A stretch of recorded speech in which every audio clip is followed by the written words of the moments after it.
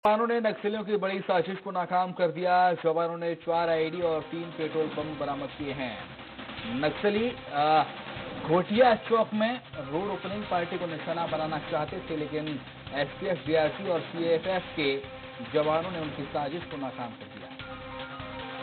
बड़ी साजिश नक्सलियों की नाकाम। दंतेवाड़ा में चार आईडी और तीन देसी पेट्रोल बम बरामद हुए हैं। घोटिया चौक में बड़ी नक्सली साजिश को अंजाम देने की फिराक में ये नक्सली थे।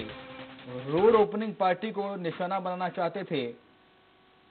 तो बड़ी सफलता यहाँ पर जवानों को लगी है, जहाँ पर एसटीएफ डीआरजी और सीएफ के जवानों ने सर्चिंग की थी। पंकज सिंह बधोरिया, ज़्यादा जानकारी के लिए हमारे साथ फ़ोन लाइन पर जुड़ गए हैं। पंकज, चार आईडी तीन देसी पेट्रोल बम बरामद यहाँ से किए गए हैं। कितनी बड़ी सफलता ऐसे जवानों के लिए माना जाए? ये बहुत ही बड़ी सफलता है जवानों के लिए, क्योंकि ये जो चार आईडी बरामद हुई है, ये आम आईडी नहीं है, ये एक रिमोट कंट्रोल से चलने वाली आईडी और नक्सली मतलब वहाँ पर हार्डकोर नक्सलियों का बड़ा जमावड़ा था, और अगर ये आईडी ब्लास्ट होती तो बड़ा नुकसान होता। जिस तरीके से नक्सलियों ने इसे सीरियल से लगा के रखा हुआ था, और इसका एक रिमोट कंट्रोल भी उन्होंने झाड़ियों के पीछे छुपा रखा था। मतलब वो पूरी तैयारी में थे आरोपी पार्टी को फंसाने के लिए।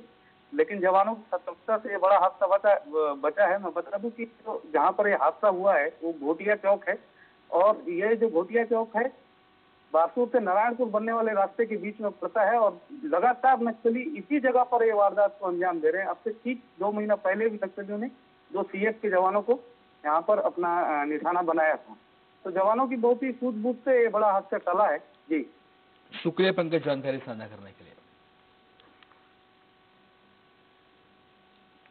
और इस बीच बड़ी खबर भोपाल से मिल रही है जहाँ पर